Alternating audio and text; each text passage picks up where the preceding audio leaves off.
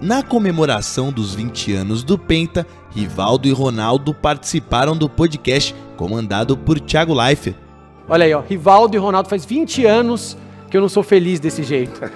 e deram dicas do que a dupla Vinícius Júnior e Neymar precisam fazer para conquistar a Copa do Mundo. Mas o Vinícius Júnior, pela maneira que está jogando, pela personalidade dele. O Neymar, que é a nossa uhum. grande esperança, a gente não pode deixar de contar com ele. E ainda revelaram como o Vini Júnior está sendo visto pelo resto do mundo.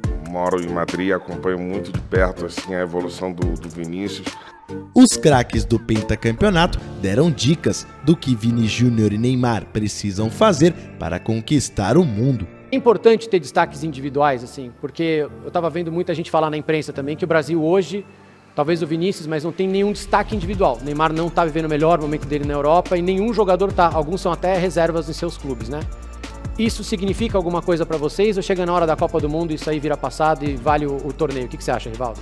É importante, né? Quando você tem jogadores que, que chamam a atenção do adversário, né? Acho que na Copa do Mundo de 2000, 2002, né? Tinha o Ronaldo, tinha o Ronaldinho Gaúcho, tinha o Rivaldo. Então é bom quando você tem três, que quando joga três ou quatro jogadores que que, que pode decidir um jogo para uma seleção brasileira, né? Então quando o Ronaldo não vai bem, o Rivaldo está bem. Então isso é muito importante. Então é, é, é, é bom que esses jogadores que estão se destacando, como o Rodrigo, como o, o o Vinícius, junto com o Neymar, isso ajuda muito, tira a responsabilidade muito de um só jogador, mas que todo mundo só a pressão é sempre em cima do Neymar para ele ser campeão do mundo ou Sim. até melhor do mundo, a pressão é muito forte em cima desse jogador. O que, que, você acha, Ronaldo?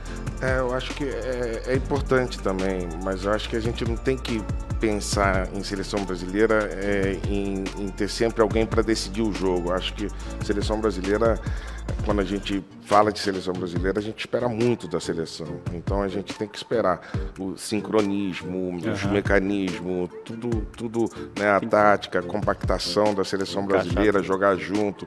E aí um jogo difícil, logicamente, né, contar com uma ação individual, um talento individual. Isso o brasileiro leva essa vantagem de um time europeu, por exemplo. Valdo, dessa geração que está chegando na seleção brasileira, que a gente tem uma molecada jogando, tem Rodrigo, tem Rafinha, tem Vini Júnior, tem Anthony. Quem você gosta ali?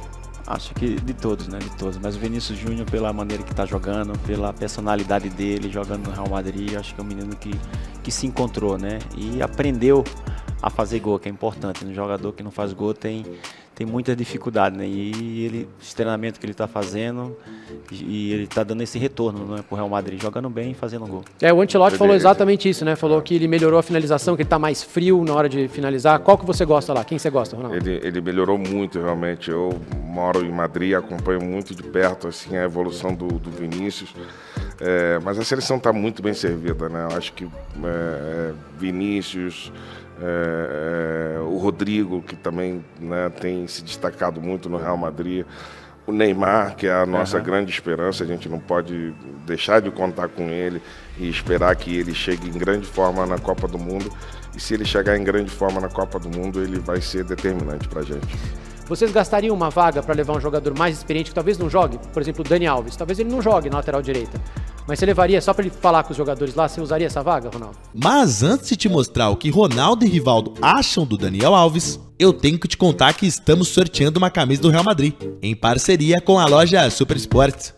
E para concorrer tá fácil demais. Basta se inscrever no canal e pronto, você já estará concorrendo a essa baita camisa. Se inscreva no canal e bora largar muito like nesse vídeo. Agora vamos voltar para a entrevista. Eu acho que esse equilíbrio é importante, mas é, eu apostaria mais é, nos jovens. E você, Rivaldo? É, eu acredito que é mais pela confiança, né? Eu acho que o Tito está vendo isso pela confiança, para apoiar os jogadores é, mas é claro, como o Ronaldo falou, né? Quando levam jogadores que têm mais condições de jogar por ser novo e tudo, é bem melhor, né? Mas o Daniel Alves é um jogador que, que chama título, né? Então, é. eu acredito que isso pesa um pouco, jogadores que é experiente, que vai ajudar no, no, no vestiário.